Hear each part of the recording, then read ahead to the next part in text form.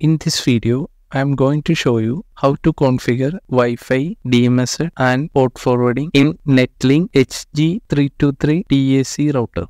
First we need to log in with router GUI. Here I am already configured with the 192.168.0.1. We need to enter the username and password and verification code. Then press the login button. Default password I have attached in the description box.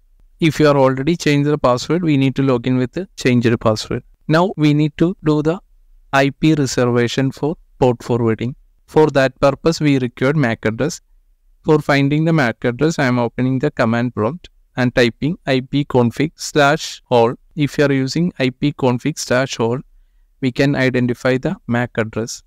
If we are having multiple network interface, we need to verify which MAC address we are taking for reserving the IP. Then copy the MAC address. Go to LAN IPv4. Here you can see edit reserved IP address press that button. Press add button, enter the MAC address and IP address. Here I am using the same IP address for reserving. Then press the confirm. Once you can close the tab, then apply changes. Now we are completed IP reservation. If your PC is restarting, that IP will remain same. Then I am going to show you how to do the port forwarding. For this purpose, we need to go for application then advanced NAT. Here we can see virtual servers. Then press add button. Here you can see two options. Please select a service or custom server. Here I am using custom server. Enter the service name. Here I am using web server. So I am just entering web. Then enter the IP of server. Here I am hosted web service in the same system. So I am using the same IP address. Then after entering the server IP address, we need to press the enable button. Then use the external start ports and external end ports. If you are having range of ports, we can enter the range from starting to ending port options.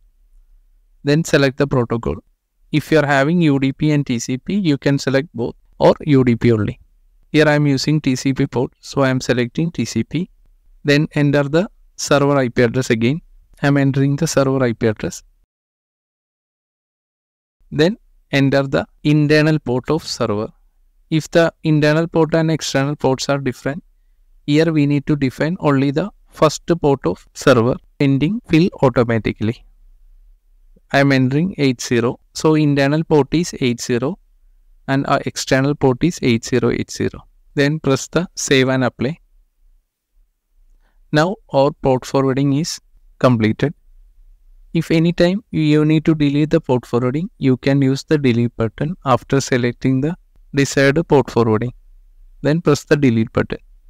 Here I am showing DMZ configuration. For enabling DMZ, you need to press the DMZ button, then DMZ host, then enter the IP of DMZ server, then save and apply. If you want to disable, just disable the button and press save and apply. Now I am going to show you how to change the Wi-Fi name and Wi-Fi password. For this purpose, we need to select network. This router is a dual band router.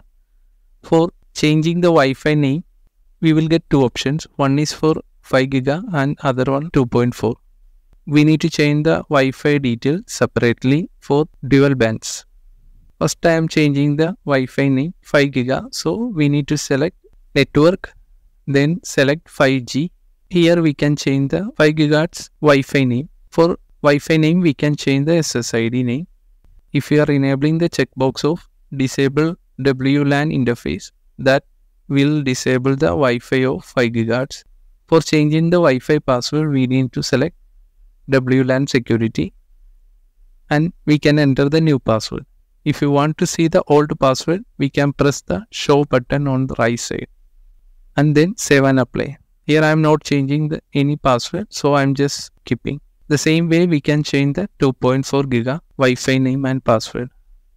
After changing the Wi-Fi name and password, we need to press the save and apply button, else the settings will not be saved. Here I am not changing any Wi-Fi name or password, so I am just skipping the option. Thank you for watching this video. If you like the video, please press the like button, share and subscribe.